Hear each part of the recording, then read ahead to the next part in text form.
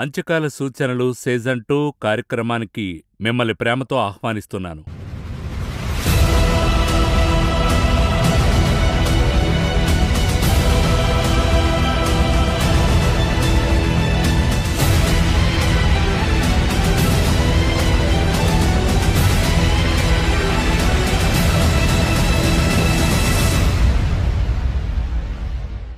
గడిచిన యాభై రెండు వారాలుగా ముఖ్యంగా ప్రకటన గ్రంథంలో నుండి దానియేలు పుస్తకంలో నుండి బ్రదర్ జగన్ నేను ఎన్నో విషయాల గురించి మాట్లాడుకున్నాం. దీని యొక్క మొదలు చూస్తే బైబిల్లో నిధులున్నాయని ఎన్నోసార్లు చెప్పాం మళ్ళీ చెప్తున్నాం. సరే ఈ సీజన్ టూలో అంత కొత్త ఏంటి అంటే నా తండ్రి నేను బ్రదర్ జగన్ చర్చించుకున్నాం. ఒక చిన్న బ్రేక్ తీసుకున్నాక ఈ సీజన్ టూ మరిన్ని విషయాల్ని ముఖ్యంగా ప్రకటన గ్రంథంలో నుండి తవ్వుదావని ఆలోచించి ప్రార్థన చేసి మొదలెట్టిన కార్యక్రమమే ఈ అంచకాల సూచనలు season two decoding the facts of revelation అనే అంశంపైన ఇప్పుడు చర్చించుకోబోతున్నాం. ఈరోజు ఈ కార్యక్రమానికి బ్రదర్ జగన్ రావడం ఎంతో సంతోషంగా ఉంది. దేవుడు ఆయనకు ఎన్నో ఏళ్ళుగా బయలుపరిచి ఇది ప్రజలకు చెప్పాల్సిన సందేశమని చెప్పి ఆ భారంతో ఆయన వచ్చారు. ఆయన్ని సీజన్ టూకి ఆహ్వానిద్దాం. Brother Jagan welcome to the program. చాలా సంతోషంగా ఉంది. ఈ సీజన్ టూలో కొత్త ఏడాదిలో అంతా కొత్తదనమని చెప్పచ్చు. అయితే ఈ ప్రవచనాల్ని మనం ఇప్పటికే చాలా చూశాం. అయినా ఎందుకు ఈ ప్రకటన పుస్తకాన్ని ఇంత లోతుగా మనం ధ్యానించాలి? ఇంకా చెప్పాలంటే అరవై ఆరు పుస్తకాలలో ఈ ఒక్క పుస్తకాన్నొక్కటే పద్మసు ద్వీపంలో స్వయంగా ఆయన చేతికిచ్చిన పుస్తకమే ఈ ప్రకటన పుస్తకం. అయితే మనకొక భారం ఏంటంటే దేవుడిచ్చిన పుస్తకాన్ని మొట్టమొదటిసారి చదివేటప్పుడు నా విషయం చెప్పాలంటే జగన్ మొదటిసారి ప్రకటన చదివేటప్పుడు ఏమీ అర్థం కాలేదని అలాగే వదిలేశాను. సో రెవల్యూషన్ అంటేనే భయం కూడా నాలో. అర్థం కానిది ఎలా అర్థం చేసుకోవాలి అని. అయితే మనం ఇది ఎక్కువ చదివాక ఎన్ని విషయాలున్నాయని దేవుని కృప ద్వారా మనం వివరిస్తున్నాం అనుకోండి. నా ప్రశ్న ఏంటంటే ఎందుకు ఈ పుస్తకం వెనుక ఇంత ఆసక్తి దాగుని ఉంది? ముఖ్యంగా మీరు మీ సేవలో ఇంత ఆసక్తి ఎందుకు చూపిస్తున్నారు? ఈ పుస్తకాన్ని ఎందుకు లైట్గా తీసుకోకూడదు? అనే ప్రశ్న ఈ సీజన్ టూలో మొదటి ప్రశ్నగా అడగాలనుకుంటున్నాను. మనము సీజన్ ఒకటికి రెండుకు ఏమిటంత పెద్ద తేడాను చూస్తే నేను చెప్తాను యాభై రెండు వారాలున్న సీజన్ ఒకట్లో ఈ ప్రవచనం యొక్క పైముఖాన్ని మాత్రమే చూసాం ఇంకా చెప్పాలంటే పై అట్టను గూర్చి మాత్రమే తెలుసుకున్నాం. జస్ట్. జస్ట్ అందులో ఏముందని మొత్తం పైన ఒక వివరణ మాత్రమే చూడగలిగాము. దానిలోకి లోతుగా మనం వెళ్ళలేదు ఏ అధ్యాయంలోకి కూడా మనం డీప్గా వెళ్ళలేదు. ఎందుకంటే ఆ సమయంలో మనం అందులోకి గూఢంగా వెళ్ళి ఉంటే అది అర్థం చేసుకోవడానికి వారికి కష్టంగా ఉండేది. ఇప్పుడు మనం ఏం చేయబోతున్నామంటే కొంచెం గూఢంగా కొంచెం లోతుగా వెళ్ళి సీజన్ ఒకటి చూచిన వాళ్ళకి ఇది బాగా అర్థమయ్యే ప్రయోజనం ఉంటుంది. అంటే అది చూసిన వాళ్ళకి ఇది చాలా బాగా అది. చూసి ఇందులోకి రావాలి. అప్పుడే అది మనకు ఒక పునాది వేసినట్టుగా సీజన్ వన్. ఇప్పుడే మనము బైబిల్ కాలేజీలో రెండవ సంవత్సరం చదువుతున్నప్పుడు మొదటి సంవత్సరం మనం ఏం తెలుసుకోవాలో? అటువంటి విషయాలు. ఇప్పుడు మీరు అడిగిన ప్రశ్నకు రావాలంటే అరవై ఆరు పుస్తకాల్లో ఎందుకు ఇది ప్రత్యేకమైందంటే చాలా సింపుల్ విషయం. అరవై ఆరు పుస్తకాల్లో మిగతా అరవై ఐదు పుస్తకాల్లో మీకు ఎటువంటి ప్రశ్నలు ఉన్నప్పటికీ కూడా ఎటువంటి విషయాలు వచ్చినా అన్నీ ఇందులో ముగిసిపోతాయి. దీని తర్వాత మరొక పుస్తకం లేదు. ఇందులో పూర్తి చేయాల్సిందే. కనుక ఇది ఎలాగంటే ఆదికాండం నుండి మొదలైన ప్రతిదానికి ఒక ముగింపు. రెండవదిగా దేవుని యొక్క పథకాలన్నీ ఇక్కడ పూర్తవుతాయి. ఈ తర్వాత దేవుని యొక్క పథకమంటూ మరొకటి లేదు. ఎందుకంటే నిత్యత్వాన్ని తెలియజేస్తుంది. సో అలాగున్నప్పుడు అలాంటప్పుడు ఈ పుస్తకాన్ని మనం ఎంతో జాగ్రత్తగా చూడాలి. అయితే ఏంటంటే ఈ పుస్తకం మనకి ఇవ్వబడినటువంటి విధానమే చాలా క్లుప్తమైనటువంటి విధానం. చెప్పాలంటే మనం ఈరోజు జిప్ ఫైల్ అని చెప్పచ్చు. ప్రతి అధ్యాయం కూడా ఒక జిప్ ఫైలే. ఈ జిప్ ఫైల్ మనం డౌన్లోడ్ చేశాక అది అర్థం చేసుకోవడం అనేది ఇప్పుడు మీరు చెప్పారు కదా చాలా భయంగా ఉంది చదవడానికి. ఏంటి కారణం ఏంటంటే ఆ ఒక విధమైన భయాన్ని ఈ పుస్తకం పైన ఏర్పరిచి ఉంచారు. నేను సేవకొచ్చినప్పుడు ఒక ఆయన నన్ను అడిగాడు మీరెందుకు ఇటువంటి సేవను ఎన్నుకున్నారు? అవును కదా ఎన్నో పుస్తకాలు ఉన్నాయి. అప్పుడు నేనన్నాను నేను తీసుకోలేదు. దేవుడు ఇందులో ఆసక్తినిచ్చాడు ఇందులో సేవగా కొనసాగించమన్నాడు. ఎందుకు ఇలా అడిగారన్నాను? అప్పుడు ఆయన చెప్పాడు ఇది చాలా మోసమైన పుస్తకమండి. ఇది చదవడమే కష్టమండి జీవితమే కష్టమండి ఏమేమో చెప్పి భయపెట్టాడు ఈ సేవను నేను ఆరంభించకముందు ఎందుకు చెప్తున్నానంటే మోసమైన పుస్తకం కాదు అర్థము కానిది కూడా కాదు. కానీ దేవుడు దీన్ని మనకిచ్చినటువంటి ఒక ఉద్దేశమే మనమిది చదవడానికి కొరకే. నేనెప్పుడు ఇదే చెప్తాను. లోకరీత్యా తక్కువ జ్ఞానమున్నవాడే ఈ యోహాను. ఆయనే చెప్పాడు మనం చెప్పడం కాదు. పామరులైన మాతో ప్రభు ఇటువంటి కార్యాలు చేశాడని అపోస్తుల కార్యంలో రాయబడి ఉంది. అప్పుడు దేవుడు ఈ పుస్తకాన్ని మనకి ఇవ్వడానికి కారణం ఏంటంటే పామరుడైన ఒకరు ఈ పుస్తకాన్ని రాసి మన చేతికిచ్చాడు అంటే పామరులు కూడా చదవవచ్చు. బాగా జ్ఞానం కలవారు బైబిల్ కాలేజీలో చదివినోళ్ళు మాత్రమే చదవాలనేది లేదు. పరిశుద్ధాత్మ యొక్క నడిపింపు ఉందంటే ఎవరైనా ఏ పుస్తకమైనా చదవవచ్చు ముఖ్యంగా ఈ పుస్తకం అందరూ చదవవచ్చు ఉమ్. మనమేం చేస్తున్నామంటే ఇది దేవుడు మనకు ముందే నేర్పించాడు. అలా నేర్చుకున్న విషయాలే ఇతరులకు నేర్పిస్తున్నాం. నేర్పించాక ఇదే మనం పరిపూర్ణంగా నేర్పించాం. మనము ఏదైతే నేర్పించామో అది మాత్రమే చాలు అని చెప్పడం కాదు. ఇది వారికి ఒక ఇగ్నిషన్ మాత్రమే. ప్రారంభించి వదులుతున్నాం. దీని తర్వాత వారు ధ్యానించాలి. వారది చదువుకోవాలి. అప్పుడు వారికి కూడా ఇందులో నుండి ప్రత్యక్షతలు కలుగుతాయి. అదే దేవుడు ఈ పుస్తకంలో ఉంచినటువంటి ఒక స్పెషాలిటీ. మరొక మాట ఇంకొంత చెప్పాలంటే ఒక రహస్యాన్ని రెండు వేల ఏళ్ళు దాచిపెట్టుకోగలమా. కానీ ఆ రహస్యం కొరకు రెండు వేల ఏళ్ళు ప్రజల్ని తాపత్రయపెట్టొచ్చా? ఒక్కో సమయంలో ప్రజలకైతే విరక్తి వచ్చేస్తుంది. అరే చాలే అన్నట్టుగా. అయితే ఈనాటికి ఈ పుస్తకం పైన ప్రజలకి ఏం కలగలేదు? అంటే అది అనాసక్తి విరక్తి రాలేదు. ఇంకా చదవాలి ఇంకా ఇందులో ఏదో ఉందని ఒక ఆసక్తిని అది రేకిస్తూ ప్రజల్ని అందులోకి ఆకర్షిస్తుందంటేనే ఈ పుస్తకం యొక్క ప్రత్యక్షత ఏంటని మనకు తెలియాలి. మనం ఆటో అప్డేటెడ్ పుస్తకం అని కూడా అవును. ఇది ఒక ఆటో అప్డేటెడ్ పుస్తకమే. మనమేం చేయనవసరం లేదు. ఆయా కాలములో ఆయా కాలానికి తగినటువంటి ప్రవచనం ఇందులో నుండి బహిర్గతం అవుతుంది ఆయా కాలంలో ఎవరైనా దాన్ని వివరిస్తారు. ప్రపంచవ్యాప్తంగా దీని గురించి వివరించేవారు అనేక మంది ఉన్నారు అన్ని భాషల్లోనూ కూడా ఉన్నారు. దేవుని కృప వలన మనము ఇక్కడ ఇది చేస్తూ ఉన్నాము ఇక్కడ కూడా చాలామంది చేస్తూ ఉన్నారు. చాలా చెప్పారు జగన్. నా యొక్క మొదటి వివరణలోనే ఇది దేవుడే స్వయంగా బహిర్గతం చేస్తున్నాడు. చెరసాల్లో ఉండే ఒక వ్యక్తికి అపోస్తులుడైన యోహానుకు ఇది వివరించి ఒక హెచ్చరిక కూడా చేశాడు. ఇందులో మనం ఏది చేర్చకూడదు అలాగే ఏది తక్కువ చేయొద్దు అని. అంటే దేవుడే వివరించిన పుస్తకమే ఈ ప్రకటన గ్రంథం అని చెప్పచ్చు. అయితే ఇది పద్మస్ ద్వీపంలో టర్కీ దేశంలో కష్టమైన స్థితిలో ఉన్నప్పుడు చెరలో ఉన్నప్పుడు ఇది ఆలోచిస్తే అబ్బురంగా ఉంది. చాలా ఆశ్చర్యంగా అనిపిస్తుంది. మరో పక్క దేవుని మహిమను చూడగలుగుతాం. ఈ విషయాన్ని మీరైతే ఏ విధంగా చూస్తారు?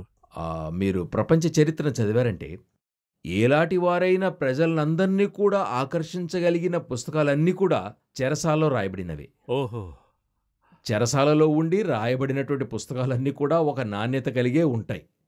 నేను బైబిల్ గూర్చి మాత్రం చెప్పడం లేదు. దీని గూర్చి మాత్రమే కాదు లోక ప్రకారంగానే మనం చూడొచ్చు. వరల్డ్ ఓల్డ్లీగానే మనం తీసుకున్నట్లయితే ఆ కొందరు నాయకులు ఎక్కడి నుండి ఈ పుస్తకాలు రాశారు అని చరిత్ర తిరగేస్తే జైలు నుండి రాసినవి చాలా ఫేమస్.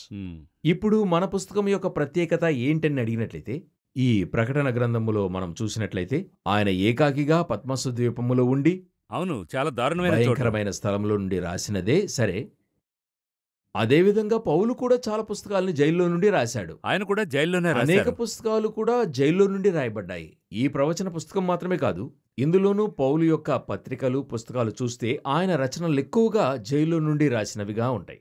ఇంకా చెప్పాలంటే చెరసాలు కూడా వారికి అనుకూలంగా మారాయి. అనుకూలమయ్యాయి. సో బయట ఉన్నప్పుడు సేవలో ఉండేవారు రాయడం కుదరదు. ఒకవేళ వారు రాయడం కోసమే ఇలాంటి చోటుకి తీసుకెళ్ళాడేమో దేవుడు. సో ఈ జైలుకు వెళ్ళే అనుభవం బానిసత్వం అక్కడ ఒక శ్రమ రావడం వాటి మధ్యలో నుండి ఒక పుస్తకం వస్తుందంటేనే అది అమూల్యమైన పుస్తకమే. సో ఎందుకు యోహానికి ఇది పద్మసు ద్వీపములో ఇవ్వబడింది? అదే ప్రశ్న. అనే విషయానికి వస్తే యోహాను పద్మసు ద్వీపములో ఉండడం అనేది ఒక ముఖ్యమైన విషయం. అతడు ఇస్రాయేలు చెరలో వేయబడలేదు. మనమది గమనించాలి. ఆయన ఆ స్థలంలో లేడు. అవును. గమనించారంటే ఇర్మియా ఇస్రాయేలులో చెరలో ఉన్నాడు. అవును. వీరందరూ ఇస్రాయేలులో చెరపట్టబడి ఎంతోమంది ప్రవక్తలు చంపబడ్డారు అని ఏసే చెప్పాడు. ఆ ఎరుషలేమా అనేక ప్రవక్తల రక్తమును చిందించినదానా అని ఆయన చెప్పాడు. యషయ కూడా అలాగే కదా? లోపలుండాడు. అయితే యోహాను బయటున్నందుకు ఆత్మీయ కారణం ఏంటంటే ప్రభువు ఇస్రాయేలును వదిలి బయటికొచ్చాడు. ఆ మరో మాటలో చెప్పాలంటే అంటే యేసుక్రీస్తు శిలువ మరణం తర్వాత ఇస్రాయేలుకైన క్యాలెండర్ ఆగిపోతుంది. అన్యజనులకైన క్యాలెండర్ ప్రారంభమవుతుంది. అందరికీ. దేవుడు ప్రవేశం ఇస్తున్నాడు అందరికీ దేవుడు ప్రవేశమిస్తున్నాడు. రక్షణ అనేది మరి ఎరుషలేము నుండి ప్రపంచవ్యాప్తానికి ఓపెన్ చేస్తున్నాడు. అలా ఓపెన్ చేసి వదిలినప్పుడు ఇప్పుడు ఇస్రాయేలునకు ఇవ్వబడేవన్నీ కూడా ఇస్రాయేల్లో నుండి మరి అన్యజనులకు ఇవ్వబడేవి? అన్యజనుల నుండి ఇవ్వబడాలి. నేను మరొక అడుగు ముందుకేసి చరిత్ర ఆధారంగా మీకు చెప్పాలంటే ఎరూషలేం దేవాలయం క్రీస్తు శకం డెబ్బైలో పడగొట్టబడింది. ఇస్రాయేల్ యొక్క చివరి కోట మసాడా. క్రీస్తు శకం తొంభైలో పడగొట్టబడింది. దాంతో ఇస్రాయేల్ యొక్క ఆత్మికమైన భౌతికమైన కాపుదల ముగింపుకొచ్చింది. తర్వాత క్రీస్తు శకం తొంభైలో ఇదే యోహాను పద్మసు ద్వీపానికి వెళ్ళాడు. అక్కడి నుండి సంఘాలకు ఉత్తరాలు మొదలయ్యాయి. అంటే ఏంటర్థం? ఇస్రాయేలుకు పూర్తయింది అన్యజనులకు ప్రారంభం. ఇస్రాయేలీయుల ఆత్మకార్యములు ముగింపుకొచ్చాయి ధర్మశాస్త్రం ముగింపుకొచ్చింది కృప నిబంధన మొదలైంది. దానికిదే సూచనగా ఉంది. సో యోహాను ఒక సంఘానికైన సూచన సంఘానికి దూత. ఆయనను మనం ఇప్పుడు ఎలాగ మోషే వచ్చాడో మనకు ఇతడొచ్చి అన్నిటినీ ఇస్తున్నాడు. కాబట్టి వీరందరూ చేరి పౌలు మిగతావారు రాసినట్టు ఇతడు కూడా ఒక పుస్తకం రాసి మనకిస్తున్నాడు. సో పద్మసు ద్వీపము నుండి ఇది బయలుదేరింది. ఇప్పుడు ఈ పుస్తకము ద్వారా మనకు అన్యజనులతోటి ఒక తిన్నటి జత ఏర్పడుతుంది. Direct link. డైరెక్ట్ లింక్ ఏర్పడుతుంది. దానికి ముందు సువార్త వచ్చింది. ఇంకా చెప్పాలంటే అన్యజాతులకైన చివరి పుస్తకం ఇదని కూడా చెప్పవచ్చు. ఆ యూదులకు దానియేలు పుస్తకము ఎలాగ ఉంటుందో మనకైతే ఈ పుస్తకం కూడా అలాగుంటుంది అందుకని పద్మసు ద్వీపం అనేది ఆనాటి టర్కీ దేశములో ఒక భాగం అది. టర్కీ అనేది ఆనాడు కాన్స్టంటైన్ నొప్పల్ అని చెప్పేవారు. ఆ తర్వాతే అది టర్కీగా మారింది. ఆ రోజుల్లో రోమన్ల యొక్క అతి ముఖ్యమైనటువంటి హెడ్ క్వార్టర్స్. ఒక ముఖ్యమైన ప్లేస్ రోమన్ హెడ్ క్వార్టర్స్. ఆనాడు రోమా సామ్రాజ్యమే ఉండింది. దాని వెనుక పెద్దదొక ఆత్మ పథకం కూడా ఉంది. ఏంటంటే రోమా సామ్రాజ్యం దానితో ముగిసిపోదు. అంటే ఈరోజు అనేకులు చెప్పొచ్చు రోమా సామ్రాజ్యం అనేది లేదు. అటువంటిది లేదు.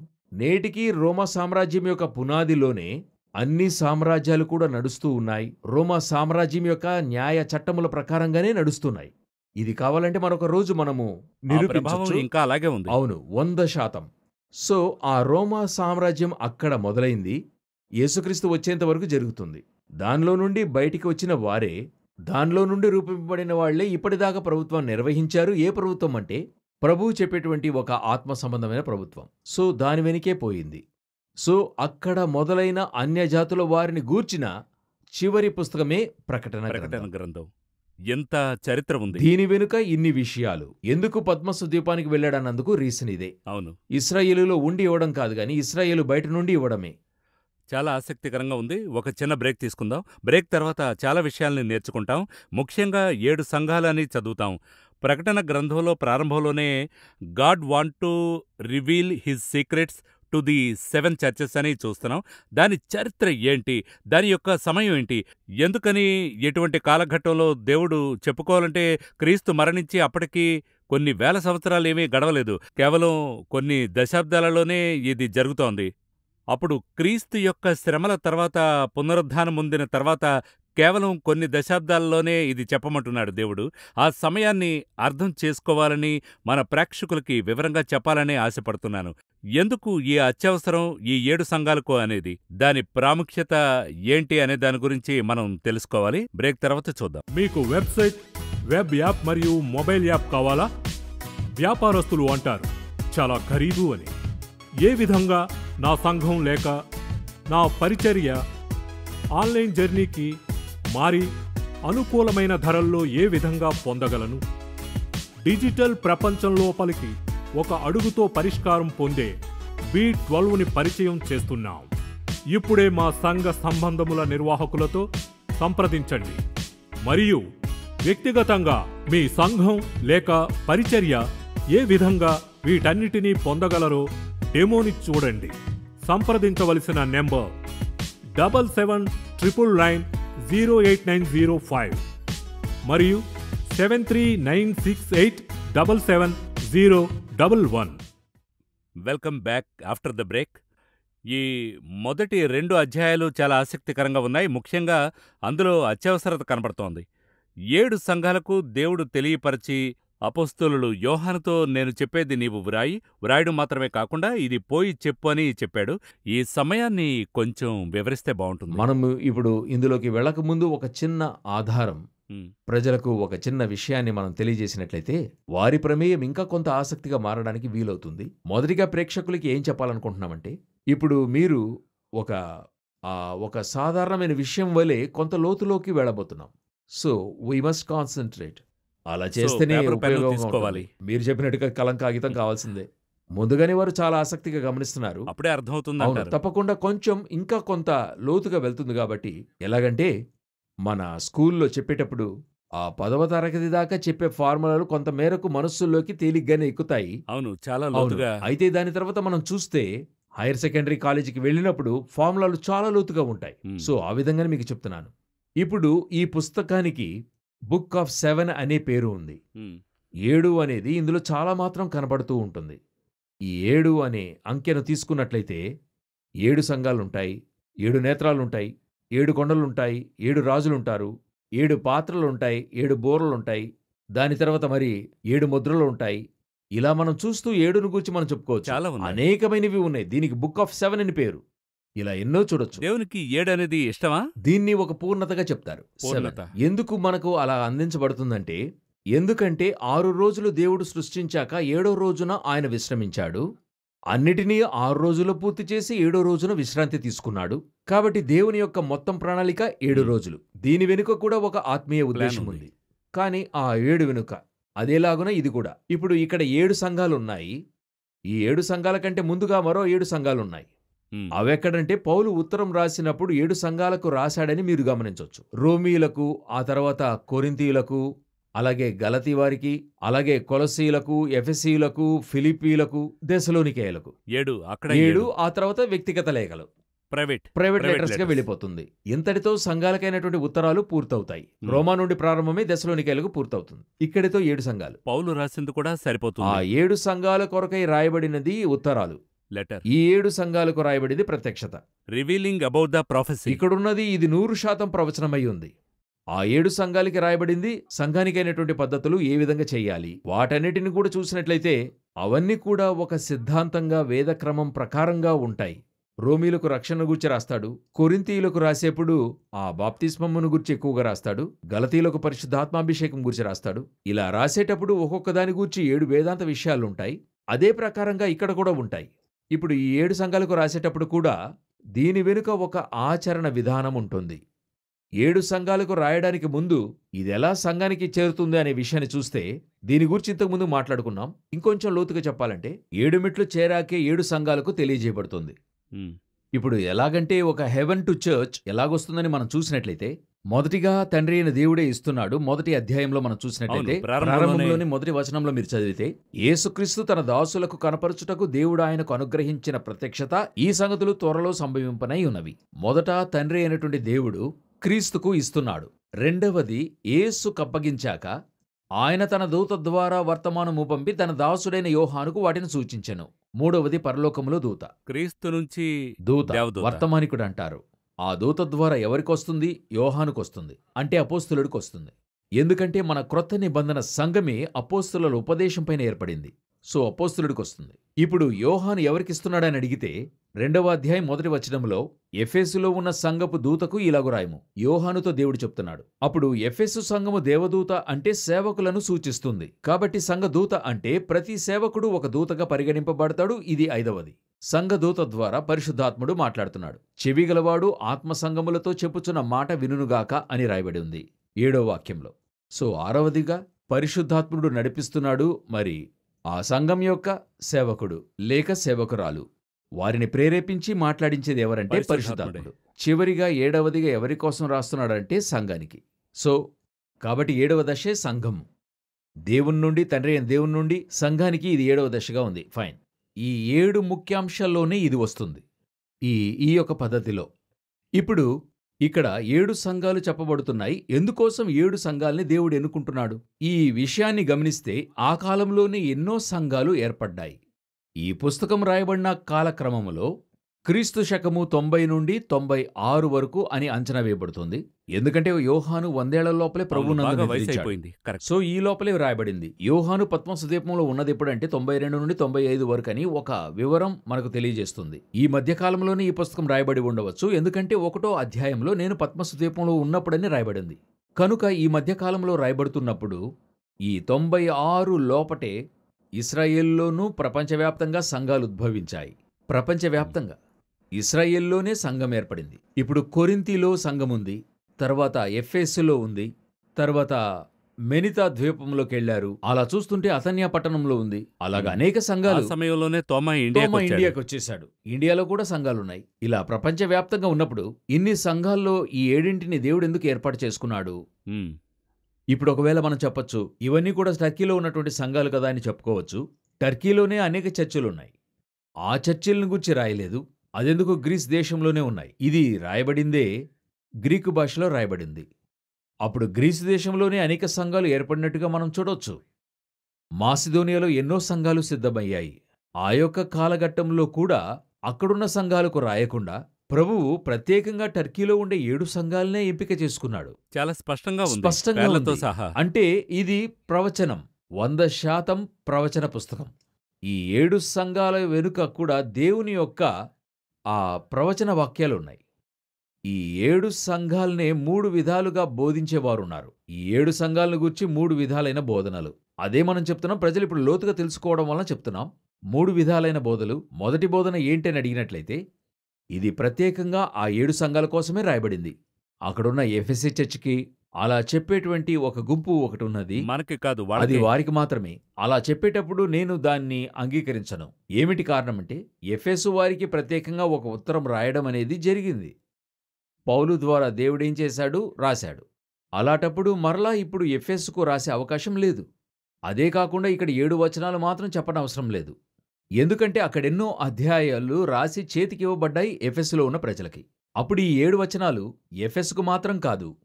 సరే రెండో విధంగా బోధించేవారున్నారు. వీళ్ళేం చెప్తున్నారంటే ఈ ఏడు సంఘాలకు చెప్పబడింది ఏడు సంఘాలకైనా మొత్తం ఉపదేశం ఉదాహరణకు ఎఫ్ఎస్కు చెప్పబడింది స్ముర్నకు చెందుతుంది. స్ముర్నకు చెందింది సార్దిస్కు చెందుతుంది సార్దిస్కు చెప్పింది పెర్గెముకు చెందుతుంది ఫెరుగముకు చెందింది ఫిలదెల్ఫియాకు చెందుతుంది ఇలాగా ఈ ఏడుకు మాత్రమే కాని అన్నిటికీ చెందిందని చెప్పగలము. ఒకవేళ ఈ ఏడుకు మాత్రం చెందినట్టయితే మనకు చెప్పనవసరం లేదు. ప్రపంచవ్యాప్తంగా ఇది పోనవసరం లేదు. మూడవది ఉంది. అదే మనం చెప్తున్నాం. ఈ ఏడు సంఘాల మూలముగా ప్రభువు ఈ లోకంలో ఉన్న ప్రతి ఒక్కరికి ఏదో ఒకటి చెప్పాలని ఆశపడుతున్నాడు. ఏదో ఒక ప్రవచనం లేక ఏదో ఒక సందేశం ఇందులో ఉంది. అప్పుడు ఇందులో ఉండే ఏడు సంఘాల్ని మాత్రం మొదటిగా మనము తీసుకుంటున్నాం. ఎంచుకొని ఇందులో ఎటువంటి రహస్యం ఉన్నదో దాన్ని మాత్రం మనం ప్రజలకు మొదట ఏం చేయబోతున్నాం? అవును. చెప్పబోతున్నాం. ఆ ఒక్కొక్క సంఘాని వెనుక ఉన్న రహస్యం ఒక్కొక్క చర్చి వెనుక ఉన్న దేవుని యొక్క ప్రవచనం. అదిను ఇందులో గొప్ప ప్రత్యేకత ఏమిటంటే ఇందులో తొంభై శాతం జరిగింది నెరవేరింది. కనుక ఇది చెప్పడానికి వీలుగా ఉంటుంది ఆ ఆధారం ఇవ్వడం కూడా తేలిగ్గా ఉంటుంది వారికి. ఇప్పుడు ఒక ఉదాహరణకు ఆ అంత్యక్రీస్తుని గురించి చెబుతున్నాం. అతడు రాబోతున్నాడని చెప్తామే కాని అతడు ఎలాగుంటాడనేటువంటి ఆధారాలు ఇవ్వడం కుదరదు. ఎందుకంటే అతను రాలా. ఆ ప్రవచనం ఇంకా నెరవేరలేదు. కానీ ఇందులో ఉన్నదెల్లా ఒక ఎనభై నుండి తొంభై శాతం ప్రవచనాలు నెరవేరాయి. అలాగున్నప్పుడు మనం ఏమీ చేయగలము? దీనికైనటువంటి ఆధారాలు ప్రజలకు ఇవ్వగలము? వారు అర్థం చేసుకోవడానికి తేలిగ్గా ఉంటుంది. ఇప్పుడు మనము మొదటి సంఘాన్ని చూద్దాం. ఎఫేసు సంఘం అనేది ఉంది. ఈ ఎఫేసు సంఘాన్ని మీరు తీసుకున్నట్లయితే ఎఫేసు అనేది ఆ కాన్స్టంటినోపుల్ అంటే టర్కీలో ఉండే ముఖ్యమైన పట్టణాల్లో అదొకటి. ఇది మన ఆత్మీయ రాజధాని అని కూడా చెప్పవచ్చు. ఇక్కడి నుండే పౌలు ఎక్కువగా ఉత్తరాలు రాశాడు రెండేళ్ళుగా అతడు జైల్లో ఉన్నాడని కూడా చదువుతూ ఉన్నాం. అదే కాకుండా అదే కాకుండా ఎఫెస్సు పట్టణములోని సేవలో ఆయనకెన్నో సంభవాలు ఆ పట్టణములో జరిగాయి. మీరు అకుల్లా ప్రిస్కిల్లా అప్పుల్లో వీళ్ళని గురించి చదివితే వీళ్ళందరూ ఈ ఎఫెస్సులోకి వచ్చిపోయినోళ్ళగా తెలుస్తుంది. అవును ఆ భాగంలో మరొకటి చెప్పాలంటే సువార్త ఎప్పుడు సరిహద్దు దాటుతుందో పౌలు ఎప్పుడెప్పుడు తన ప్రయాణాన్ని చేస్తున్నాడో ఈ ప్రాంతాన్ని దాటుకుని పోలేడతడు. మధ్యలో ఉందే ఆ ప్రాంతం. ఆయన పశ్చిమానికి పోయినా సరే ఆసియాలోనికి వెళ్ళినా సరే ఆయన వెళ్ళగానే మధ్యలో ఉన్నటువంటి ప్రాంతము ఎఫెసు పట్టణం ఉంది. అది చాలా ముఖ్యమైన స్థలంగా పరిగణించబడుతుంది.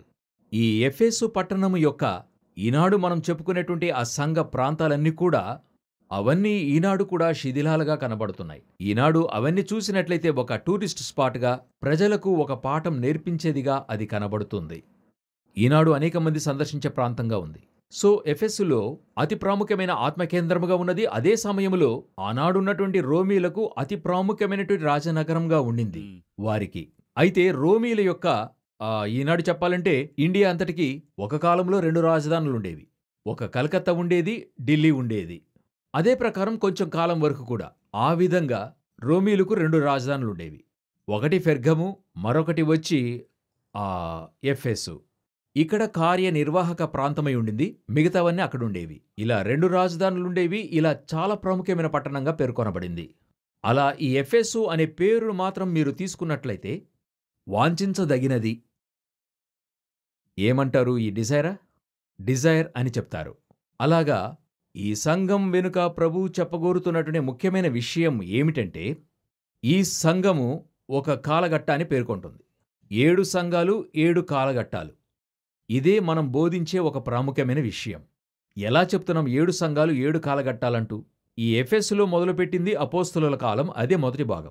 అక్కడే మీరు చూశారంటే రెండో వచనములో అపోస్తలులు కాకయే తాము అపోస్తలులమని చెప్పుకుని వారిని పరీక్షించి వారు అబద్ధికులని నీవు కనుగొంటువనియు రెండో వచనంలో ఉంది. ఆ కాలంలో అనేక మంది అపోస్తలులుండేవాళ్ళు వారి ఉపదేశమే ముఖ్యమైంది. అపోస్తలుల మూలంగా ప్రపంచమంతా సువార్త ప్రకటించబడింది. అవును. ఇతర సేవలప్పటికీ ఇంకా ఏర్పడలేదు. మీరు బాగా అర్థం. చేసుకోవాలి. ఓన్లీ అపోస్తలుల సేవ ఒకటే అప్పుడు జరిగింది. ఆనాడు సువార్తికులు ఎక్కువ మంది లేరు పాస్టర్లనేవారు లేనేలేరు ఎందుకంటే అప్పటికి సంఘం ఇంకా ఏం కాలేదు. ఏర్పడలేదు. ప్రవక్తలనే వారందరూ వీరందరూ కూడా ఆ కరెక్ట్గా ఫామ్ అయ్యేది ఎప్పుడన్నట్టయితే పౌలు వచ్చి అన్నిటిని ఏర్పాటు చేస్తున్నాడు. పౌలు ఏర్పాటు చేశాకే ఇదొక సంఘం ఏర్పాటుగా మారుతుంది. ఎఫేసు సంఘానికి రాసేప్పుడు పౌలు చెప్తున్నాడు సంఘం యొక్క క్షేమాభివృద్ధి కొరకు కొందరిని అపోస్తులుగాను కొందరిని కొందరిని కాపరులుగాను కొందరిని బోధకులుగాను కొందరిని ప్రవక్తలుగాను కొందరిని సువాతికులుగాను ఆయన ఏర్పాటు చేశాడని ఉంది. కనుక ఇలాంటి సంఘ వ్యవస్థ అనేదంతా కూడా పౌలు సేవాంతరం జరుగుతుంది. అంటే అంతకుముందు సంఘాలు లేవా అన్నట్టయితే అంతకుముందు సంఘాలు ఎలాగుండేవంటే అక్కడక్కడ జనాలు కూడుకొని వారు దేవుని ఆరాధించేవారిగా ఉండేరు. లభించే గృహాలలో చేరి ఆరాధించేవారే గాని కాని సంఘ వ్యవస్థ అనేది ఏర్పడలేదు.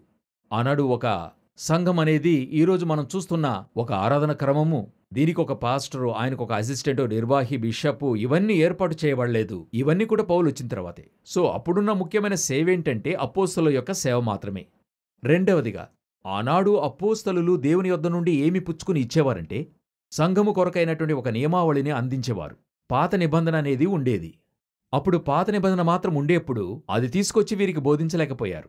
మీరు మొదటి శతాబ్దం ఎఫెసు కాలాన్ని చూసినట్లయితే ఎంతో గందరగోళం అనేది ఉండేది రోమియులే క్రైస్తవ్యాన్ని ఎలా చూసేవారన్నట్లయితే యూదుల మార్గం యొక్క కొనసాగింపుగా చూశారు.